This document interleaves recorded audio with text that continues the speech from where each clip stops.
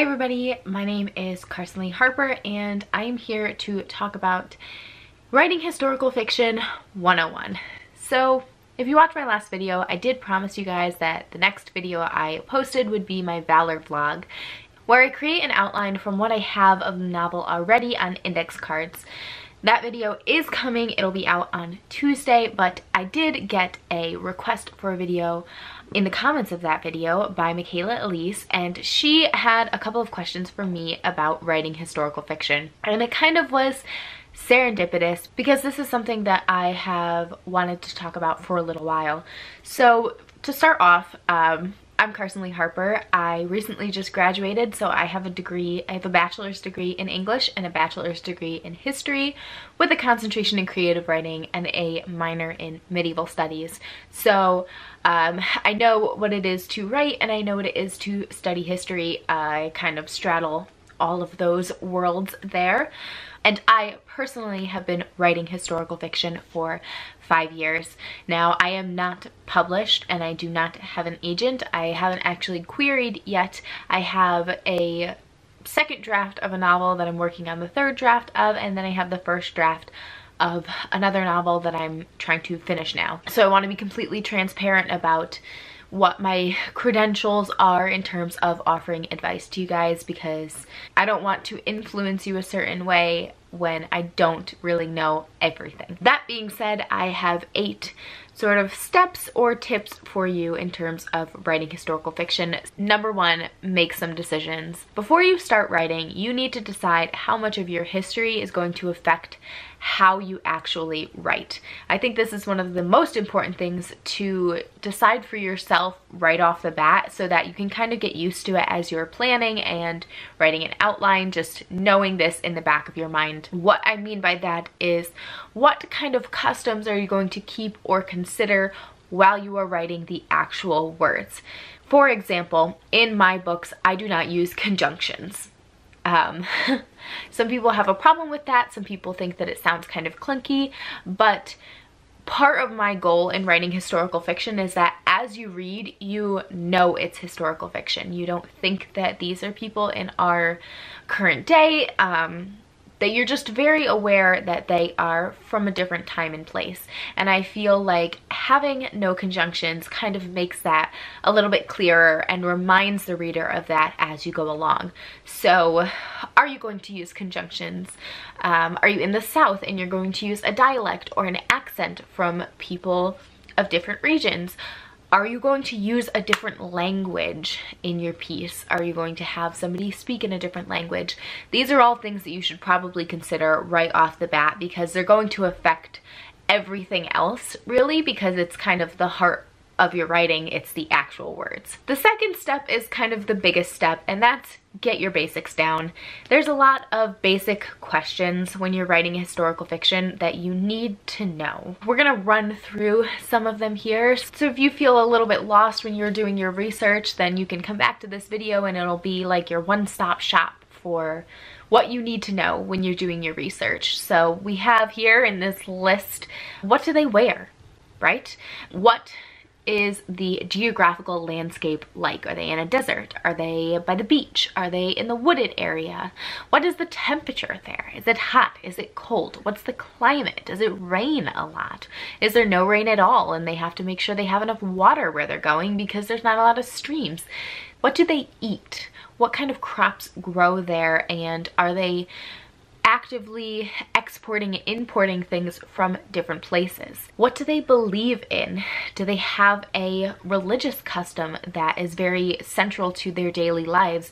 Or do they have social customs that are very central to their lives in terms of um, who can speak at certain times, who can go certain places, what is appropriate for different genders or different age groups, what is the political situation, are they in a republic, are they in a dictatorship, are they um, in a monarchy, what, who is ruling and how does that look to your characters and to their world in general? Are there any important local or global events that your characters either have already experienced or will experience? If they are 35 and it is 1500, then they probably experienced some part of the Renaissance. How were they influenced by the Renaissance? Things like that you want to consider, not just in the time period that your novel is starting, but the lifespan of your character. What would have influenced how they grew up, what they were exposed to in their daily life. And then I've said it a couple of times, but just what is their daily life? What does their daily life look like? What do they do? Do they have a job? Um, are they expected to do certain things for other people? Are they expected to not do certain things?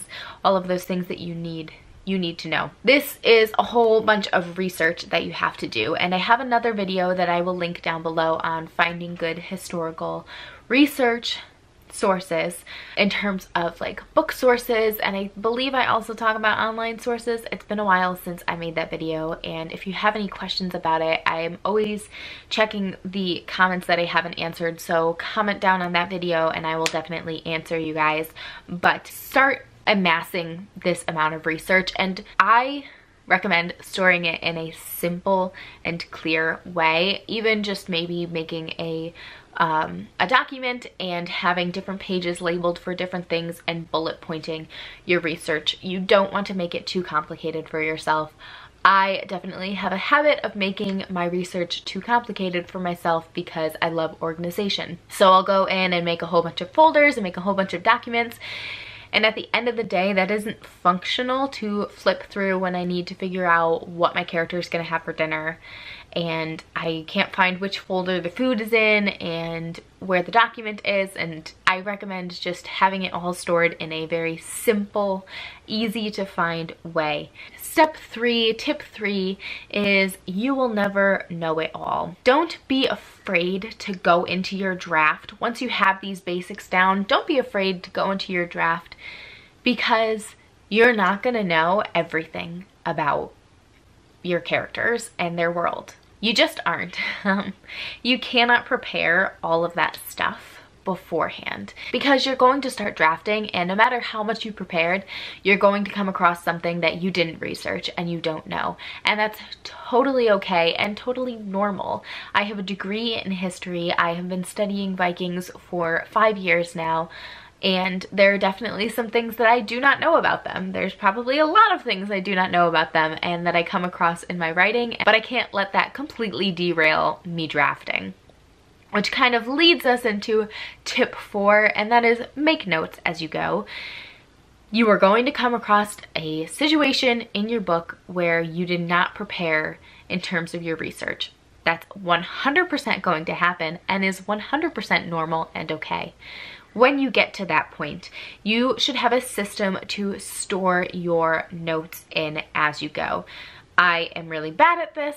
I tend to just put them everywhere, so that is why I'm saying here and now, before you start drafting, um, come up with a system for yourself. If you have a journal and you're just gonna put them all in your journal, if you're gonna put them on sticky notes on a wall, I have a sticky note wall right behind you with a whole bunch of sticky notes of things that I need to do in my draft that I just quickly jot down and stick on there. Sticky notes are also great if you are a busy writer, if you are working and going to school, you can always have sticky notes on you, write it down, stick it somewhere, and then it's easily transplantable onto wherever it is you're storing them, whether that's like a binder or a notebook page or just on your wall like me. The point of this is that when you come across those things you don't know, you don't need to stop what you're doing, stop all of your drafting and go look it up. You can just make a note, um, make a note in your draft somewhere where it is, uh, page four or page 40, whatever it is, and you can go back to that later. You can do that in draft too. But that you get to stay in that writing zone while also remembering, hey, this is something I need to research later. Tip five is capitalize on popular media. This is kind of a hit and miss tip if you are the kind of person who can consume media that is similar to what you're creating and not mix the two up or pull from that media accidentally, then this tip is for you. And that is find some movies and books and TV shows that are in the same historical period as yours and give them a watch, give them a read because I know for me personally, it always makes me so excited to go back to my story and it also gives me some ideas in terms of what I can have my story do we're kind of lucky in historical fiction world where there's a finite amount of things that we know about any given historical period. We are obviously always making discoveries within the history world, but it's not going to completely change the course of history as we know it. And so if you're watching a movie and you see a really awesome battle scene, if you kind of take inspiration from that battle scene, it's not going to be as noticeable as if you were watching a fantasy movie and you stole a creature, a type of creature from that fantasy movie. Obviously, people are going to connect that you didn't come up with that. But for history, you can kind of borrow from different things that you are consuming without it being taking from another creator because it's history, it's everybody's history, you can't really take it. So I always recommend giving yourself some downtime as you're drafting and using that downtime productively by consuming media that is similar to what you want to do. And that goes to for like Pinterest boards or YouTube channels of authors writing similar things to you or Instagram, like travel Instagram. I love to look at like travel photographer pages and I also love Pinterest for like character inspiration or aesthetics. Love those things. Tip number six is draft two can fix everything. I kind of already touched on this in terms of making notes without stopping your writing because you can go back and fix it, but you need to have a first draft. I can't stress this enough because it took me forever to finish my first draft. You need to have your first draft down. And any historical inaccuracies or historical information you didn't know, you can fix in draft two try not to let your analytical, like nitpicky brain get ahead of you in terms of feeling like you have to know everything when you go into your first draft. You absolutely do not. Draft two can save all of those historical details. For the most part, you'll reach the end of your draft one and realize that it didn't necessarily go in all of the directions you thought it was going to go in, and so you couldn't be prepared for the directions it went in that's not a bad thing. That means that your story has grown bigger than you even dreamed it would be when you started outlining. It means that your characters have taken charge and action. It means that your plot is more diverse than you thought it would be. And doing more research before draft two is not a bad thing. It means that your story is growing and that's what everybody wants their story to do. Tip number seven is there will always be haters no matter how well you know your period, and like I say, I'm not saying this to brag or anything, but I do have a history degree, I do have an English degree, and my focus was medieval studies for both of those. I have an interdisciplinary medieval studies minor, which is the time period that I write in, and there will be people, hopefully, fingers crossed if I get published one day, who read my book and tell me all of these things are historically inaccurate. That's okay that's okay. There's going to be people who know your time period better than you, and you can take that in. Know that it's going to happen. Know that people are going to have historical uh, problems with your book. And just let that roll off your shoulders, right? Because we're doing our best in the time that we're writing the book. In the moment, we are trying our absolute hardest to make it as historically accurate as possible.